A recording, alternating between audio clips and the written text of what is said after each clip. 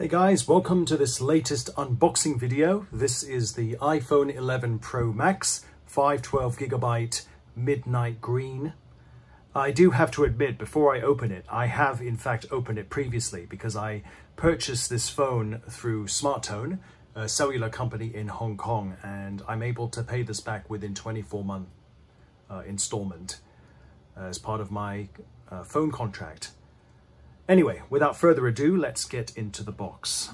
So there's the box. You've got the three camera lens and it's a midnight green. Box is black and it's 512 gigabytes, as you can see. Let's open up the box. After I bought the phone, I bought a screen protector to protect the glass and I always buy that every time I get a new phone. I never want to risk uh, breaking this by smashing the glass on the floor or what have you. I even got a cheap case because I figured like if you can see the green back, it would be nice once you get a new phone to just invest in a cheap cover so you can see the color. Problem is, um, if I went and bought a black cover, you wouldn't be able to see that color. So ah, I've just turned it on. So that's the phone. Now just put that aside. We'll just put that down there just for a moment. Uh, that's the receipt for the phone. So you get the pin for opening up the SIM card tray.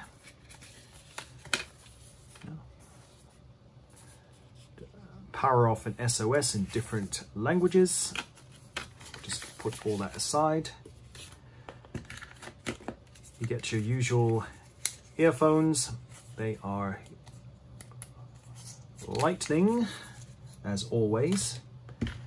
The difference now, I believe you get an 18 watt charger in the box by default.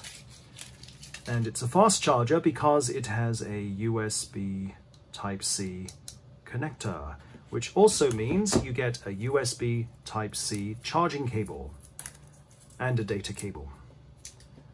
In the past, you only had the conventional USB, I believe it was, what was it, Type A, the big chunky one.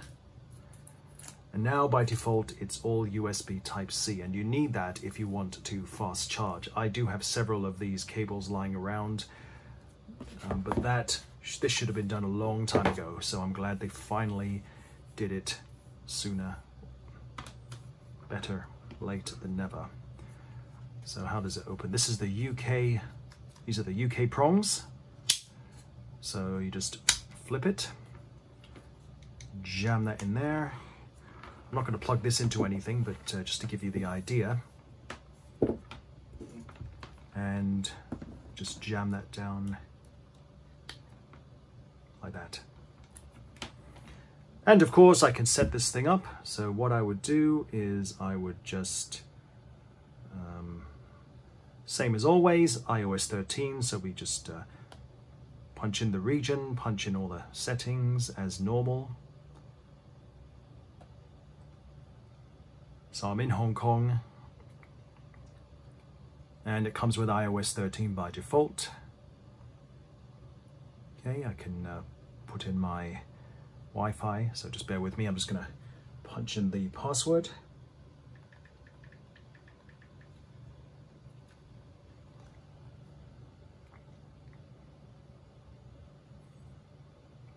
Just for intents and purposes, I'm going to set this up like a new phone. Later on, I'm going to restore my previous phone settings uh, into this phone.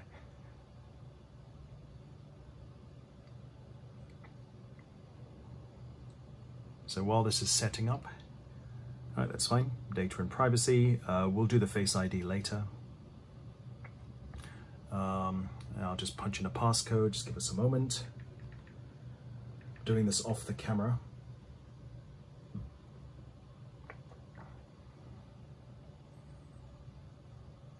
All right, so I have a choice. I can restore from iCloud Backup I can use my Mac or PC to just restore the entire profile from a previous phone to this phone. I can move data from Android, which I'm not going to do. uh, or I could just set it up as a new um, phone. Okay, and I can just punch in my um, Apple ID. For intents and purposes, I'm not going to use my Apple ID. I'll just... All right, yep, that's fine. iMessage and FaceTime. right? just go through all the wizards. Uh, we'll set up Siri later. Screen time, uh, okay, we'll set that up later. Uh, don't share.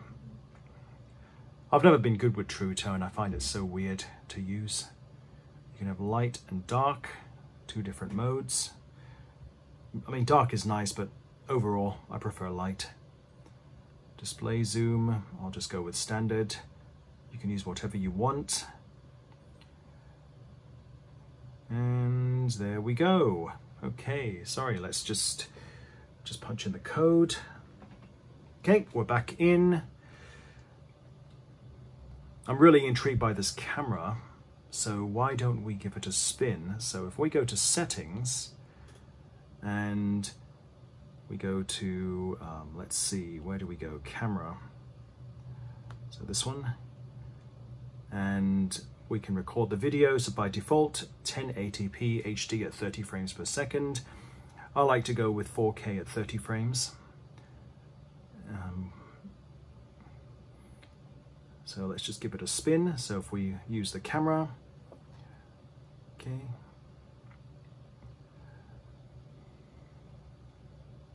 Right, so if I just, just do that, see if I uh, take an object, like a piece of a super glue tube or something, and I could do a two time zoom, one time, and I believe that's the telephoto lens. You can zoom out like this. So you can zoom in, zoom out, just like that. Wow. What about video? Let's let's take a look. At, I think I have to swipe up. Okay.